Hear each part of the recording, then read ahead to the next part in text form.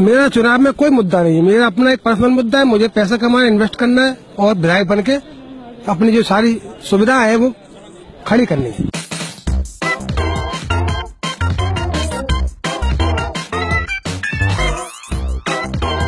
राजनीति में जो आता है, पैसा कमाता है, अपना घर भरता है, ऐसा मैं भरूँगा। समाजवादी पार्टी में समाजवादी पार्टी के लोगों जो कितने सारे समाज के लोग हैं, सब विधायक हैं एमपी हैं एमएलए हैं, ब्लॉक प्रमुख है, सारे समाज का चला रहा है उनका।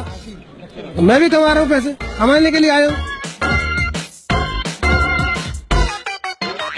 जो विकास कार्य के लिए पैसा आता है, उसमें ट्वेंटी फाइव परसेंट तो होता ही है।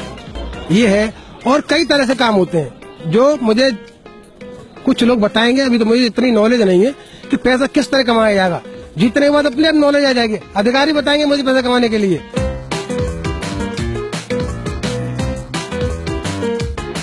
भाई, इतना बड़ा हिंदुस्तान में सवा सौ करोड़ जनता को बेवकूफ़ बना के कोई बंदा प्रधानमंत्री बन जाता है तो उसी, उसमें कोई लोग काबिलियत तो होगी जनता को बेवकूफ़ बनाने की। तो मैं भी बेवकूफ़ बनाऊँगा अब मेरा दिमाग बेवकूफ़ बना लीजिए यहाँ से नाम फ़ाइल करके अब मेरा दिमाग बेवकूफ़ किस तरह बनाया जाएगा जनता को, और वोट किस तरह हमें लिया जाएगा जनता से? तो मैं सोचूँगा दिमाग लगाऊँगा अपना।